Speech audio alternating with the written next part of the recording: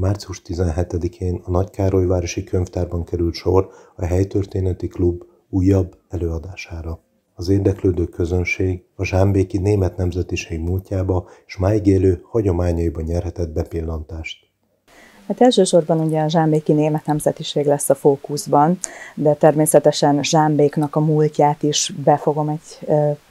előadás keretében mutatni, hiszen azért a kőkortól kezdve lakott a település és környéke. Nagyon izgalmas az, hogy hogyan jutottunk el odáig, hogy 1712-ben az icsi grófok behívják a németeket, és hogy mi volt ennek a, az oka, mi az, ami miatt ugye fontos volt uh, magának Zicsi Péternek is, hogy jöjjenek német telepesek, hiszen uh, természetesen Zsámbék is a török harcokat megszenvedte, de volt valamennyi magyar református lakosság és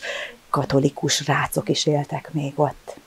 Beszélni fogok arról, hogy mik azok az unikális néphagyományok, amelyek megmaradtak Zsámbékon. Zsámbékot azért elég erősen érintette az előzetés, tehát 1946-ban a lakosság 95%-át űzték el Németországban, Németországban, és ez azért egy nagyon nagy vérveszteség volt magának a településnek, tehát a 60-as évekig nem is tudott normalizálódni sem a kultúra, sem az emberi kapcsolatok, azért ott nagyon sok volt az, a, akik jöttek, és a régi lakosságra rálettek telepítve egyház házban kellett élni is akár, vagy voltak olyanok is, akiktől elvették a családi házukat, és mások költöztek oda be. Ezek a feszültségekhez vezettek, ezt ki kell mondani. Ez aztán később természetesen normalizálódott, és aztán újból tudott felvirágozni a település.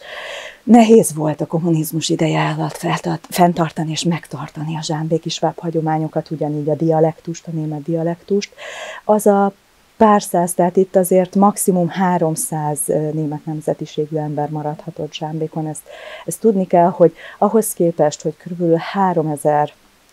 500-700 ember az, akiket elűztek, ahhoz képest ez a 300 azért egy, egy nagyon kis mennyiség, nagyon kevesen tudtak megmaradni, és féltek is természetesen. Nem lehetett az utcán nyíltan németül beszélni, nem lehetett a hagyományokat nyíltan őrizni. A templomba jártál, azért ezt följegyezték, megjegyezték az iskolában is, azért ez hátrány volt az oktatásban, tehát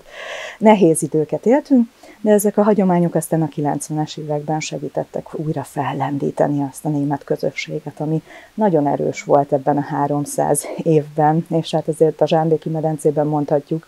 hogy,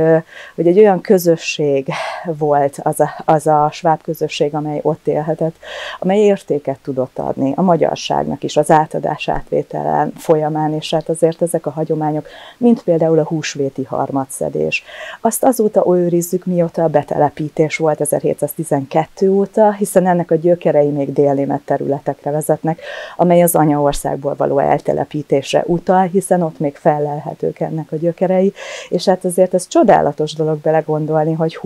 húsvétnak szent reggelén a napfelkelte előtt felmegyünk a Kálvária dombra, és ott ugye e, Jézus Krisztus köszöntjük, és hát keresztet vetünk azzal a harmattal, ami, amit ott találunk a Kálvárián.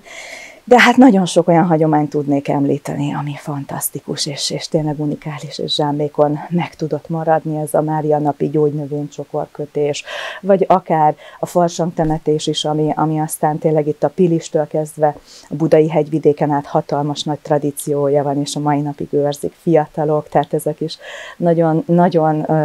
értékes dolgok, és az a fontos, hogy a fiatalok is megértették ennek a lényegét, és ők maguk is ugye a Lochberg regionális társcsoportban, ők is óvják, és, és tényleg élik, és magukra alakítják ezeket a hagyományokat, és ez a fontos, hogy bármennyire is ugye ezek 300 évesek, de a mai korban is ezek élhető dolgok, ezek megélhetőek, és bárki be tud kapcsolódni, akinek ehhez